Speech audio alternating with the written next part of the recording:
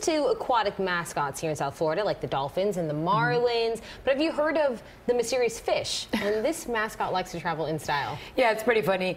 They the name may not ring a bell since it's a Japanese baseball mascot, but when he flies with the team, he's got luggage to check too. Well, more like his body.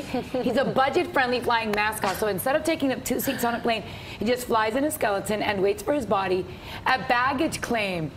He wait for it, wait for it. He's gonna go in to the fish, out come the legs. There he goes, and there is the Japanese Oh mascot. Talk about an out-of-body experience, huh? what the heck? Can you imagine seeing that walking around the, the airport? I would funny. like to. That'd probably make my day. Yeah, very, very funny.